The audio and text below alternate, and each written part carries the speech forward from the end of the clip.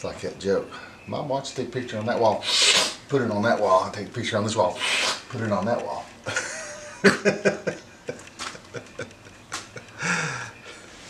What? what? Oh, we have too much fun. Okay, okay.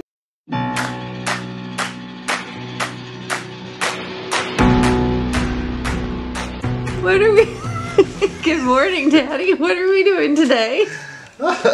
Today we are going to put the door stiffeners in before we cut the doors out. And the reason we're going to do that is we're going to try to obtain the shape of the door as it sits now in the camper and maintain it after we cut it out and try not to have any flexing in the, the door so that when you put it all, all together it closes tightly. We're also going to fiberglass the mount for the fan, roof fan, and finish up the galley gutter and see where we end up after that. So that's our plan for today. And I'll try to explain best my my thoughts on how to install this door stiffener and we'll see what happens. It might be a good idea, it might not. We're gonna make something work. Alright. Alright. This stiffener goes on the inside of the door down here at the bottom. And its purpose is to stiffen the lower half of this door so when we put hinges on the door closes because it's hinged here and here but not there. Okay. Our thoughts are this. We're going to take this door stiffener and we're going to put it on the outside like so and I've got these little tiny skewers that are used to seal the back end of a turkey up after you stuff it. And we're going to put those skewers through the holes here and the holes here to hold this in place. Now what this is going to do for me, it's going to allow me to take this angle finder and place it up here and get the angle. Once I have that angle, I can take here and use that to transfer the angle so that I can shave this board off to fit inside and get this a flush. flush here as well as here. So that's our plans. I don't know how it's going to apply. I don't know how it's going to turn out, but we're going to see if that's going to work. Everybody that has done the doors, they cut them all the way out and the door seems to want to open up and then when they apply the stiffeners, things don't seem to line up here. So we're trying to make it so that it's already in a line with the stiffener in before we cut this door completely out. Sounds like a good plan. All right, so let's get hot and sweaty. Sounds like a plan, Dad. Yep.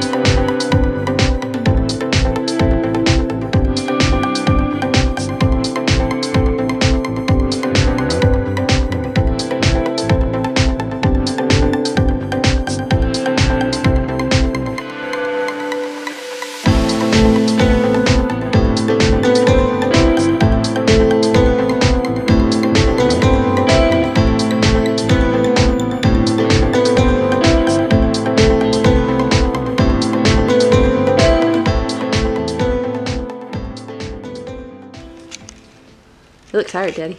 I did.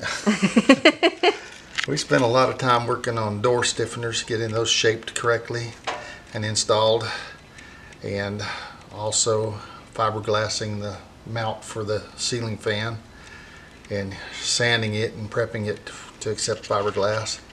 As you can see, we have lined up the pieces inside the camper and then we've used these tourniquets to use that to apply pressure and put it on so that it glues solidly to the door panels. And we did this on both sides. We wanted to do the stiffeners inside the doors so that we make the stiffener and the door, the door shape will stay the same after we cut the door out. So it was a lot of work, a lot of detail work. So today I feel we got a productive day and we'll see you next week. No, we won't. No, we won't. No. Oh, you got to be a, the best man at somebody's wedding next yeah, week. Okay. Yeah, yeah. So how many hours you got today in this? It is 150. We started about 9:45. oh. So add it up. Uh, Four hours? four hours, I think. Four hours and 15 minutes? I gotta count that on my fingers, so Yeah. Four hours and 15 minutes we put into it today. we'll just say four hours. Okay. And next week we get back, we'll clean up this and find something else to get into. So until then, say bye, Daddy. Bye, Daddy. All right.